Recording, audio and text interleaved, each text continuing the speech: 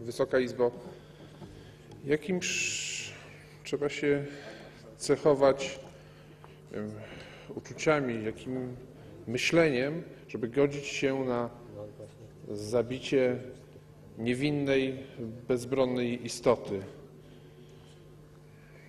Jest oczywiste, że życie ludzkie zaczyna się od poczęcia. Jest oczywiste, że y, dzieci chore czy narażone na chorobę zasługują na leczenie, a nie na śmierć. Jak to ma się do śmierci droga panie pośle? Pani marszałek, Panie pośle, bardzo proszę nie przerywać.